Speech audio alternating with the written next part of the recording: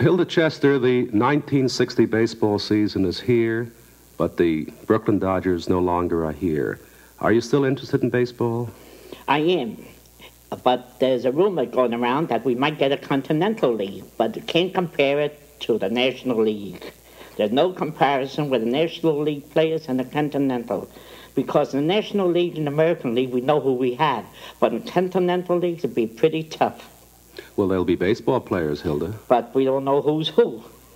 Well, you didn't know from year to year with the Dodgers either. No, that's right, too. But, Oh, yes, Hilda. but time marches on.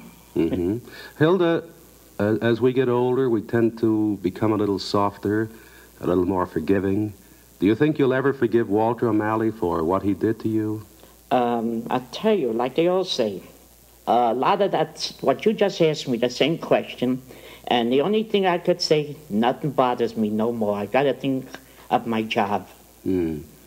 Then you don't care as much about baseball as you did before. I ain't got the same spirit because when I go to the Yankee Stadium, it's a different atmosphere. But I love them players because it's a they made me where I am today. The baseball and it's in the blood. I just can't quit, and I got to stick to the new baseball word, continental.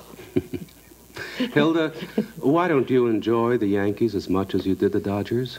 Uh, it's a different atmosphere. The National League, the umpires work different, and I like to heckle the umpires. Well, can't And you heckle the American League umpires? I don't know them as much as I know the National League Oh, umpires. but they know you, Hilda. Yes, but you can't do that to them. They act different than the National League umpires. I found that out. Well, do you feel sort of inhibited when you go to the Yankee Stadium and you can't heckle? Oh, no, no, no, no. I'm a woman of few words, but they're loud. That's right. What's your favorite remark at a baseball game, Hilda? Uh, when there's a visiting t- uh, team pitcher out in the um, pitching, Mm-hmm. and it's an afternoon game, like a Sunday afternoon, I say, no pitcher out there. He's only out there getting sunburnt. then when he has a shutout, I said, there, uh, there goes your shutout, tied up. When the batter's up, tied up. I never guess wrong.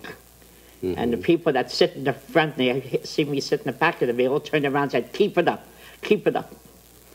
Well, there are those very few words from Hilda Chester, the Brooklyn Dodger fan who is known all over the world, even at the Yankee Stadium. This is Cliff Evans reporting, now back to Monitor at Radio Central.